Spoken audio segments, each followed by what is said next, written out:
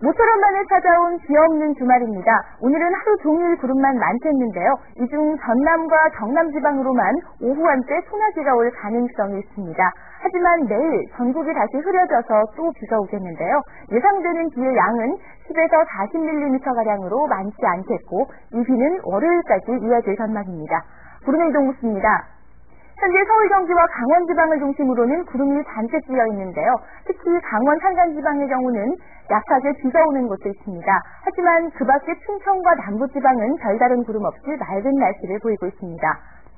오늘은 고기압의 가장자리에 들어서 전국에 구름만 많겠습니다. 하지만 전남과 경남 지방은 오후 한때 소나기가 오겠고 강원 산간 지방에는 오전 한때 비가 조금 내리겠습니다. 낮 기온은 서울 26도, 대전 28, 광주, 부산 29, 창원과 대구가 31도 등으로 주로 남부지방을 중심으로 무덥겠습니다.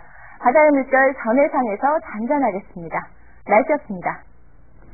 토요일 아침 조이조시 뉴스 마칩니다.